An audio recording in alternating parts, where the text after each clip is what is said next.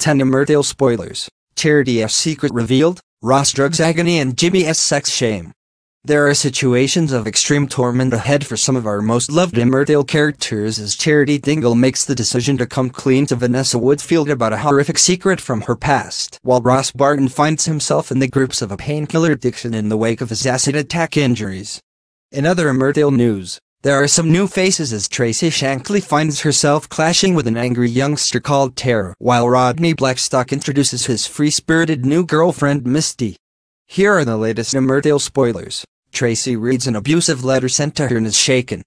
Later, she comes across a youngster spraying graffiti about her and confronts her. But it was Lara and why does she have it in for Tracy? Bob fears that Brenda knows about the affair and takes steps to find out while Joe confronts Jimmy over Robert and Rodney's lust with his new girlfriend Misty causes discomfort for Bernice and Nicola.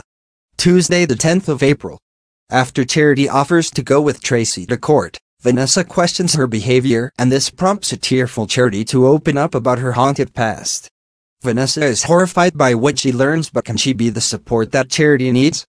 Ross tries to snatch painkillers from Rebecca's bag while Laurel realizes that Brenda was behind her purse theft and Jimmy feels the pressure around his sexual performance. Wednesday the 11th of April Paddy is excited when Chas invites him to attend the first scan with her. But when she is overcome by another strong wave of sickness, he is unsure of how to best deal with the situation. Meanwhile, Charity wonders whether she was right to confide in Vanessa while Ross tries to get more painkillers from Dr. Cavanagh as he becomes more desperate. Thursday the 12th of April Part 1 Rhona is concerned when she finds an empty pill packet at Ross and checks the prescription date on them.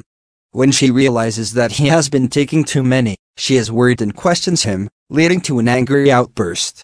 Meanwhile, Paddy worries as Charles' nausea continues to get worse while Charity pushes Vanessa away.